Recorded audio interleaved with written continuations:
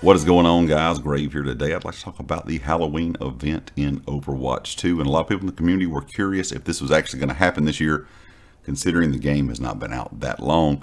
And traditionally, most games would avoid kind of having any kind of uh, event early in its first few weeks to first month or two of launch, considering you're still working out issues. And Overwatch 2 has had some issues. And for the most part, I think a lot of people are able to get in and play now and Blizzard did confirm that the Overwatch 2 Halloween event will start this coming Tuesday, October the 25th. So here in just a few days, the Halloween event will begin. Now, they said this year's uh, going to be a little bit different, but not a lot different from past years. They did not really give us a whole lot of detail just yet on what we will be able to get, but it says the Halloween Terror event will be taking uh, place this year as it has, you know, the last few years in the original Overwatch game. And there, this year will be no exception to the rule. You'll have things like different uh, skins that can be unlocked and some new skins, of course, added into the game this year for the Halloween Terror event. And also some of the other things, you know, that we've got over previous years. You know, like your profile, kind of like the profile images, your little pictures, you know, your backgrounds now for your, you know, your kind of your nameplate, your calling card, whatever you want to call it. And like I said, some new skins and some returning skins as well, but we have not got to see these skins from Blizzard yet. That has been kind of teasing this.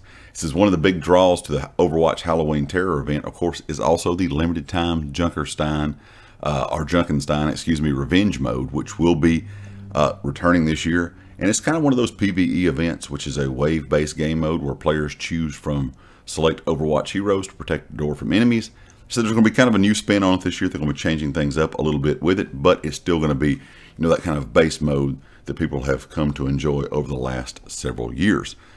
I think this year's uh, event is, a good thing for the game.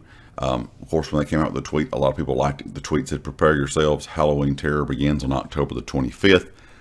Now, if any more news comes out about this, if we start to get to see some of the skins maybe leaked or, or you know, Blizzard starts putting out some stuff, I'll make a separate video on that. Because like I said, I think it really is good for the game, considering a lot of people aren't big fans of the Battle Pass. A lot of people are calling for you know, the loot boxes to come back, if you can believe it or not. Because years ago, people really hated loot boxes. But now I think a lot of people are starting to like the loot box idea better where you can just earn things in game and not really big fans of battle passes. I think battle passes are kind of, in a way, kind of getting, it's kind of be worn out because it's something that every game has now. And I think a good Halloween event with some good skins that players can get from previous years and some good new skins.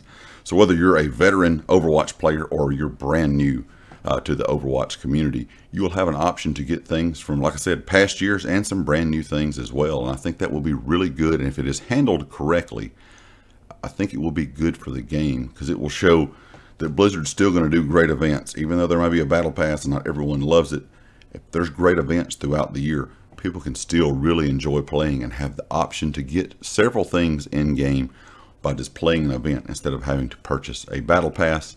So leave me a comment with your thoughts. Let me know if you're looking forward to this event. Like I said, it's going to start on the 25th of October, which is this coming Tuesday. And of course, if you like the video, hit the like. If you have not subscribed yet, please do so, and I'll catch you next time. Peace.